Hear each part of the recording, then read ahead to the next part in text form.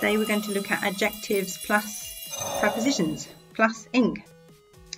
So first we'll look at the word afraid of and we'll also look at good at. So that's an adjective plus a preposition. So are you afraid of cats? Are you afraid of dogs? Afraid of is the adjective with the preposition of. Afraid is the adjective and of is the preposition. Angry with somebody. Angry about somebody or something. Why are you angry with me? What have I done? Are you angry about last night? Different from Anne is very different from her sister. They are very different from each other. Fed up with. I'm fed up with my job. I want to do something different. Good at. Are you good at maths? And are you good at English?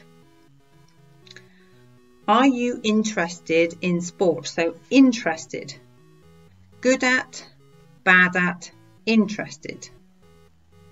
Tina is bad at writing letters because she always forgets to write them. Interested in. I'm not interested in sport. I'm interested in sport. Married to. That person is married to another person. Kind and nice. It was kind of you to help us. Thank you very much. David is very friendly. He's always very nice to me. So nice or kind to somebody. And sorry about something or sorry for doing something. I'm afraid I can't help you. I'm sorry about that. I'm sorry for not phoning you yesterday. Sorry used to be a very, very common word in the English language in the past. So a preposition plus the verb plus ing, continuous. I'm not very good at telling stories. Are you fed up with doing the same thing every day? So with doing, at telling. I'm sorry for not phoning, for not phoning.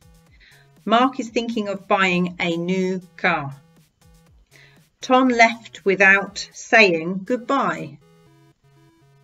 He didn't say goodbye. After doing the shopping, they went home. Thanks for listening about adjectives and prepositions, as well as adding the verb in onto the preposition. Thank you. Bye bye.